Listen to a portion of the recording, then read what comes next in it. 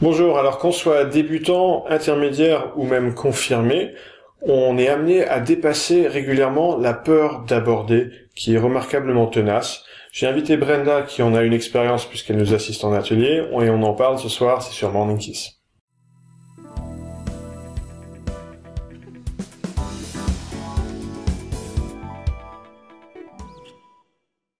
Bonjour, ici Alex Wagner, je suis coach certifié, formé à la PNL, et j'ai fondé l'Institut de Coaching Morning Kiss pour accompagner les hommes et les femmes qui veulent reprendre en main leur vie amoureuse. Je suis avec, je suis avec Brenda ce soir, qui fait partie de l'équipe, qui accompagne, euh, euh, même pas qui accompagne, qui coach euh, en atelier sur le terrain depuis maintenant trois ans avec nous.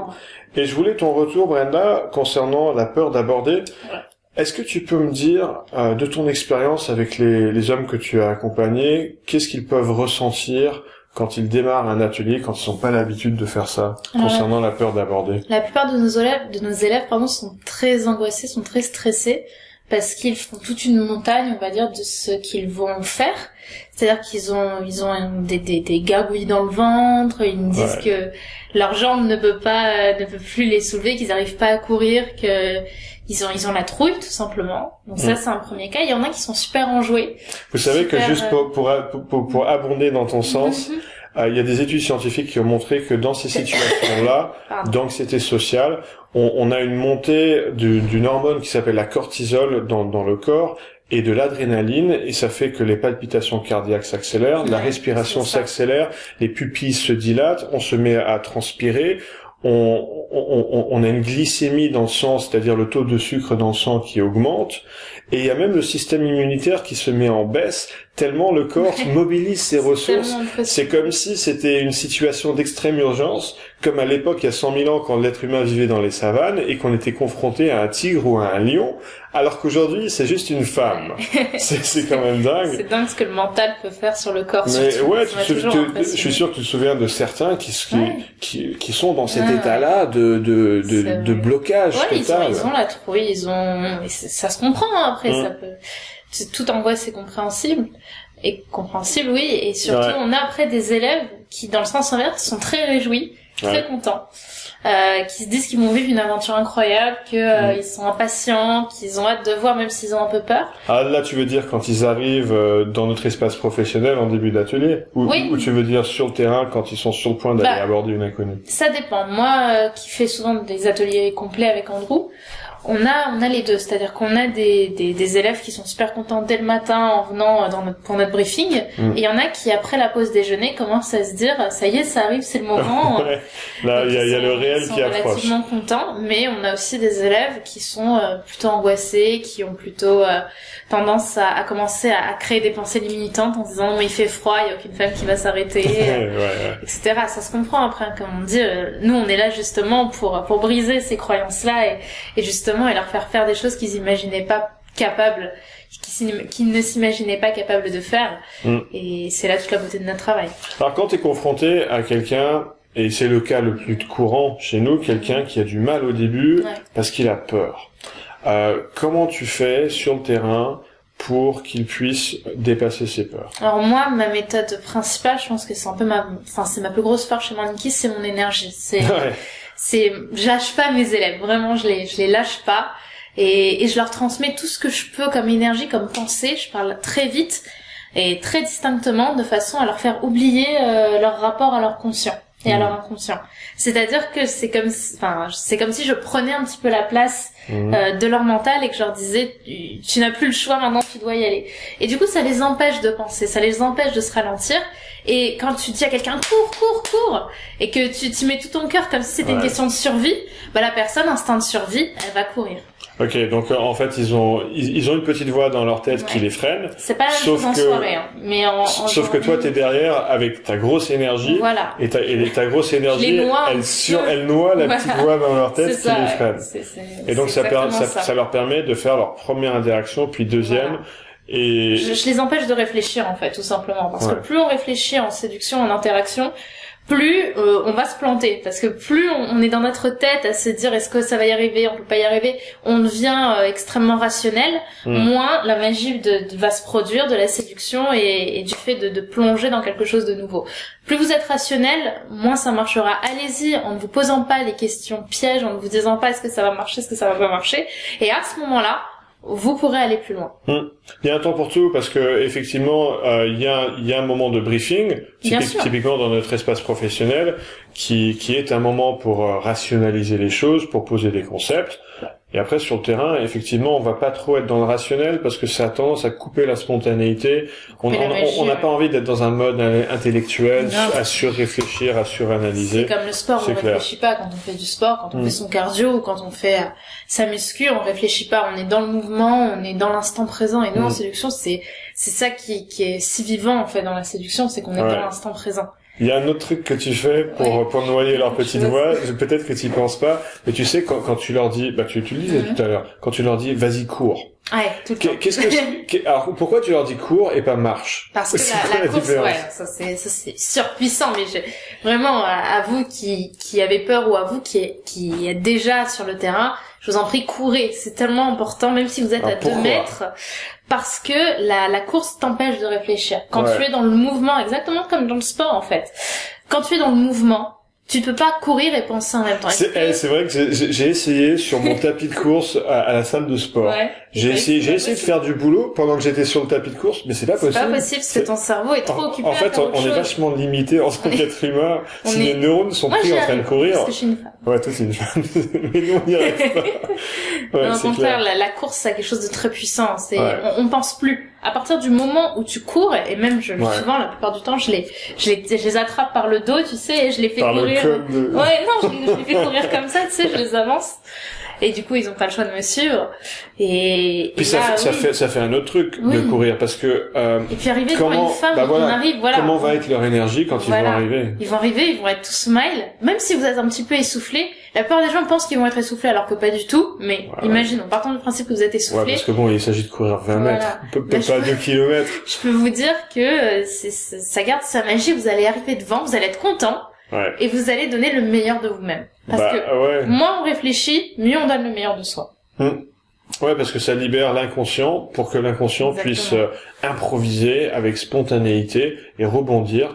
Et c'est essentiel parce que si, si, on, si on planifie toute l'interaction avant d'y aller, ça marchera pas parce que la, la, drague c'est bordélique, il y a toujours mhm. des surprises. Comme les discussions avec ses amis en fait. Bah, quand vous allez en, en discu quand vous allez rencontrer vos amis euh, à des soirées etc, vous réfléchissez pas à l'avance à ce que vous allez lui dire ou à ce que vous allez leur dire, ou vous, vous réfléchissez pas à comment vous allez ouvrir la conversation, c'est quelque chose qui se fait spontanément. Mm. Bah, avec une femme c'est pareil. Une femme c'est avant tout euh, un être humain quoi. Ouais. Il y a un autre truc que tu fais sur le terrain, Brenda. Moi, il y, a autre chose. Alors, il y a plein de trucs que tu fais, mais il y a un truc qui me vient à l'idée. Euh, quand tu dis à un, un participant à un atelier de se focaliser sur la joie, ouais. pourquoi tu lui dis ça? Parce que c'est un tel bonheur. Parce que en vous focalisant sur la joie, vous allez annuler la peur. La joie de quoi d'abord? En vous focalisant sur la joie d'aller aborder une belle femme, une bah, femme que que probablement 80% des hommes ont vu. 80% des hommes se sont dit elle est belle, mais c'est même pas arrivé dans leur tête de, de, fait d'avoir ce réflexe de leur dire si j'allais l'aborder. Mm. Tu vois, oh, quasiment personne allait, excuse-moi du terme, à les couilles d'oser aller euh, aller faire cette démarche tu vois. Parce que les gens ont peur et ça peut se comprendre. Mais justement nous on montre que cette peur elle est elle elle peut s'effacer elle peut s'enlever mm. ou elle peut être là et, vous pouvez y aller quand même. C'est dingue. Et justement le fait de vous concentrer sur la joie de vous dire waouh si ça se trouve cette fille elle a un potentiel génial elle est super intéressante. Ça se trouve cette fille c'est c'est c'est une nana de dingue avec qui je vais avoir un feeling de fou et avec qui on va peut-être avoir une petite ou une grande histoire. C'est magnifique. Je vais je vais aller à la rencontre de cette femme. Je vais aller moi me, me réaliser en tant qu'homme, en tant que, en tant que mâle. Bah ouais. C'est un truc de dingue. C'est mm. vachement satisfaisant. Il y a de quoi, il y a de quoi être joyeux. Voilà. Et en étant aussi joyeux, ben, vous allez plus vous concentrer sur la peur. Vous allez prendre votre pointeur euh, inconscient et au lieu de le pointer sur la peur, vous allez le pointer sur la joie. Mm. Et ça, et comme ça, vous pourrez pas ressentir les deux. Bah, c'est ça le point clé, parce que euh, encore une fois, les êtres humains sont très limités mm. et en fait, on n'arrive pas à entretenir simultanément la joie et la peur. C'est forcément l'un ou l'autre. Et donc le fait de porter l'attention vers la joie qu'on peut ressentir, bah, ça chasse la peur automatiquement. Complètement. Le jour où j'ai appris ça, ça a changé beaucoup de choses ouais, pour moi. c'est vrai. C'est, c'est comme tout. On vous dit toujours euh, de vivre votre vie avec joie parce que justement, la joie que vous allez avoir dans, dans vos activités au quotidien va effacer toutes les appréhensions que vous pouvez avoir à l'instant où, Mm. où vous ressentez de la joie, en fait. Mm. Simplement. J'ai envie de partager avec toi aussi un, autre outil qu'on utilise dans les ateliers. Cette fois, c'est ma, spécialité puisque c'est la PNL, Mhm. programmation neurolinguistique. Euh, pour, ceux qui connaissent pas, c'est c'est l'ensemble, c'est un ensemble de connaissances qui vise l'amélioration de soi et la communication qu'on peut avoir avec les autres. Donc forcément, en séduction, on, on- on est en plein dans le cœur du sujet. Et on fait en, en début d'atelier un exercice de préparation mentale par, par PNL. Alors ça va peut-être te paraître, toi qui me regardes, un petit peu abstrait quand je vais te le dire comme ça, parce que c'est difficile à expliquer. Mais en gros, l'idée, c'est de faire prendre conscience aux participants qu'il a déjà accédé dans le passé aux ressources dont il aura besoin dans le futur, dans, dans une, Mm. une interaction sociale ou avec une femme, des, des ressources comme euh, l'aisance sociale, comme la confiance en soi, et par un exercice euh, de, de transposition qui est un petit peu difficile à décrire, il faut y être pour le vivre, et tête. ben on arrive à, à reconnecter dans le système nerveux euh, un événement passé dans lequel ce participant a été au top de sa confiance en soi, par exemple, et on arrive à connecter cet état passé avec la projection future, et en faisant un ancrage, on fait que quand il sera en situation de rencontre, bah du coup ces ressources vont arriver beaucoup plus facilement, et la peur et l'anxiété vont s'effacer automatiquement sans qu'il ait besoin d'y réfléchir, un parce, parce qu'on fait un ancrage. Ouais. Ouais. Alors c'est difficile de quantifier exactement à quel point ça fonctionne, parce que c'est un outil qu'on a dans notre boîte à outils pédagogique d'accompagnement. On n'a jamais fait- essayé de faire que la PNL et de rien faire d'autre, donc je ne peux pas quantifier ce que ça fait. Mais en général, on a des bons retours que, que comme quoi euh, ils ont ils ont senti que c'était plus facile qu'ils qu'ils- qu'ils auraient imaginé. Ouais. Et c'est peut-être la part de la programmation neurolinguistique qui joue. Exactement. Alors j'ai une dernière astuce à partager. Oui, j'allais en en venir aussi, vas-y. Ah vas-y. Non, je pensais C'est au... la même, tu Je crois sais pas. Bah, voir. Vas-y dis. Mystère. Je pensais au fait de décrédibiliser, en fait, l'instant. Ah, c'est pas la même, cool. On, on, Ouais, fera- on fera un tour de rôle. Décrédibiliser l'instant, qu'est-ce que tu veux L'instant, dire c'est-à-dire de leur dire, justement, de, de ramener cet instant à la réalité, pardon, de le crédibiliser plutôt, de leur dire, au pire, qu'est-ce qui se passe si tu vas? Et parce que la plupart des élèves ont peur d'y aller, ils me disent, non mais je peux Mm. pas, qu'est- qu'est-ce qui va se passer? Et je les regarde, je me mets face à eux, parce que généralement ils font 3 mètres, alors je les regarde comme ça, et je leur dis, au pire, qu'est-ce qui se passe? Dis-moi tout. Qu'est-ce qui, qu'est-ce qui va t'arriver? Mm. Et, et là, bah, ils savent pas quoi me répondre. Ils me disent, bah, elle va, elle va, elle va partir, elle va étudier. Alors, Ouais. si ça peut t'arranger, Ouais. on, on a tous, on a tous déjà mis un, un vent à quelqu'un. Et alors, le, le mec à qui tu fais des, des annonces publicitaires, tu, tu généralement, tu, tu l'ignores, etc. Lui, il s'en prend 40 par jour, il le vit pas aussi, il le vit pas mal. Et toi, Mm. quand, quand tu pars, bah, à l'instant où t'as déjà quitté le, le mec, tu t'es même plus dans l'instant de te dire oh, qu'est-ce qui m'a énervé celui-là à m'aborder, tu vois. Mm. T'es plus dans cet instant-là. Donc je leur dis au pire du pire, elle t'ignore. Et alors, tu gagnes du temps sur euh, sur ta vie et tu seras fier de toi. Du coup, je prends leur peur et je leur dis je je veux que ce qui te fasse peur, c'est pas le fait d'y aller, c'est le fait de ne pas y aller. Mm. Justement. Et comme ça, on focalise euh, le critère de réussite dans un atelier non pas euh, sur le fait d'avoir le numéro ou d'avoir l'attention de la jeune femme, mais sur le fait d'oser aller l'aborder. Et là, tout de suite, par la peur, elle s'en va. Enfin, elle, se- elle se, elle se, elle se minimise, Mm. puisque les, les, les élèves se, se disent, au, au pire des cas, bah, je serais fière de moi. Ouais, j'adore cette, cette technique pédagogique et, et que tu peux tu utiliser dans d'autres euh, dans Domaines d'autres domaines? Par exemple, si tu as peur de perdre ton boulot, bah ça oui, ça peut être comme une phobie Mhm. presque, c'est très fort. Bah tu peux prendre une feuille et dérouler exactement ce que ça insinue. En scénario catastrophe, tu perds ton boulot, il se passe quoi? Et ben tu tu détailles exactement et bien souvent, tu t'apercevras que quand tu examines le scénario catastrophe, en fait, il est supportable. Ouais. Tu vas pas finir sous les ponts, tu vas pas être un clochard, avec tout le respect que je dois s'il y a des clochards qui nous regardent. C'est je, pense- qu'ils ont pas C'est YouTube. mal. non, c'est mal. C'est, c'est du mauvais humour, on va Ouais. dire que je suis moitié. ouais, c'est ça. Mais bref, ouais, j'ai- j'ai- j'ai- j'aime beaucoup cette, cette, cette technique pédagogique. Exactement. La, la peur, en fait, est toujours plus impressionnante. Le risque, pardon, est toujours plus impressionnant avant de l'avoir pris. Ouais. Une fois que t'es dedans, Ou même de l'examiner, Ouais. de, de se dire, Mais au juste, ce scénario catastrophe, je risque quoi? Voilà. Et là, tout de suite, ben, vous allez vous sentir beaucoup plus euh, apaisé. Ouais. Et, et, même au pire, si vous avez euh, vraiment, il peut se passer quelque chose, vous allez pouvoir le préméditer. C'est-à-dire qu'en en travaillant sur une feuille noir sur blanc, mm. ce qui pourrait arriver, bah, vous allez vous rendre compte que vous avez quand même un espace-temps avant le, le, pire qui puisse arriver. Donc vous allez pouvoir vous y préparer, travailler pour pas que ça arrive. Mm. Et comme ça, bah, tout va devenir beaucoup plus logique et beaucoup plus rassurant pour vous. Alors je vais, je vais, je vais partager euh, ma, ma, technique à moi, qui, qui, est beaucoup moins savante que la tienne. C'est c'est un truc de base, mais extrêmement efficace que j'ai que j'ai testé moi-même. Euh, je t'en ai déjà parlé, je crois. Figure-toi que quand j'ai démarré Morning Kiss il y a trois ans, eh ben j'étais extrêmement rouillé, j'avais pas abordé depuis euh, des années, littéralement, puisque je suis marié. Et euh, mon caméraman de l'époque, Rémi, que tu connais bien, et ben au début, euh, j'avais peur d'y aller tellement j'étais rouillé. Et donc ce que j'ai fait, c'est que je lui ai donné en début de session. C'était en session de caméra cachée. Il fallait que je fasse pour YouTube des caméras cachées. Et donc je, lui ai donné 10 billets de 10 euros. Et je lui disais, écoute, voilà, ces 10 billets de 10 euros, ils sont à toi, sauf que à chaque fois que je vais aborder, eh ben tu m'en rends un. Et j'ai pas besoin d'avoir un numéro de téléphone, j'ai pas besoin de créer une attirance, mm. j'ai juste besoin d'aller marcher vers cette femme, l'arrêter et, et, sortir quelque chose de ma bouche. Et j'aurais mérité mes 10 euros. Et ça marchait vachement bien parce que je revenais d'une interaction, même une interaction où c'est allé nulle part et, et, et elle voulait pas s'arrêter, bah, du, j'ai gagné mes 10 euros, j'y suis allé, j'avais ma récompense, ça me donnait envie d'y retourner, j'avais vraiment l'impression d'avoir gagné 10 euros, alors que ah, c'était mon argent à la base, mais psychologiquement ça, ça jouait de dingue, et il était hors de question, bien sûr, que, que j'arrête la session avant d'avoir récupéré mes 100 euros. J'allais pas laisser 50 euros à Rémi euh, comme ça. Bien sûr, et, ça a marché vachement je bien. cette méthode surpuissante pour les étudiants. Parce que quand on est étudiant, enfin moi je sais que quand j'étais étudiante c'était comme ça, j'avais un rapport quand même assez sacré avec l'argent hmm. parce que euh, parce que l'argent c'est dur à gagner quand t'es étudiant.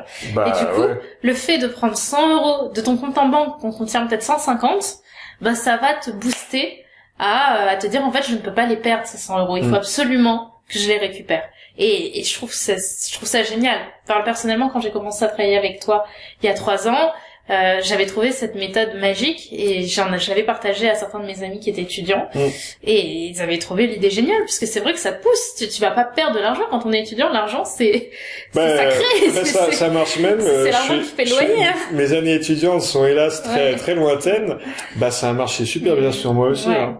C'est un très très bon truc, ça, j'adore. Des, billets là dans la main, euh, ça, ça joue. Et eh ben comme quoi, euh, certaines peurs qu'on peut ressentir très fortement euh, ne sont peut-être pas à, écouter, contrairement à d'autres, parce qu'attention, il y a des peurs qui sont à écouter. Je veux dire, euh, quand, quand, on a le vertige parce qu'on a peur du vide quand on est en haut d'un immeuble, bah c'est une peur qu'on peut écouter parce qu'elle nous sauve la vie cette peur. On va pas sauter de l'immeuble. Par contre quand on est dans, on est dans la rue et face non pas à un lion ou un tigre mais juste à une petite nana être humain pour être votre sœur une petite nana comme toi. Arrête j'ai 13 cm de talent. Et ben et ben voilà il y a, ce genre de peur on n'a pas à l'écouter. Donc on vous a donné euh, quelques-unes des techniques pédagogiques avec Brenda euh, et parmi les autres de l'équipe euh, pour ne pas les nommer. On utilise pour vous, pour accompagner les participants aux ateliers, pour franchir ces peurs-là, parce qu'ils en ont marre d'être d'être euh, euh, comment dire retenus par ces peurs-là. Ils ont envie d'agir, ils ont la frustration de ne pas pouvoir agir sur leurs envies masculines. Et ben voilà, on les accompagne pour y aller. Exactement. Alors si cette courte vidéo vous a été utile, si elle vous a permis des prises de conscience, alors sachez que le module de formation Je ne suis pas dragueur mais j'ose aborder va beaucoup plus loin.